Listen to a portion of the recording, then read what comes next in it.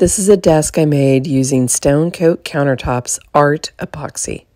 I started by faux painting the wood to look like marble, then layered epoxy with different colored pink micas. The video and photographs never show the real detail, but there's varying degrees of opalescence and depth from the different layers of epoxy. I love how the druzy effect makes it look like the inside quartz vein of a geode. You can see some of the detail here. As always, I do a final coat of just clear to make it food safe. I'm selling this desk for 550.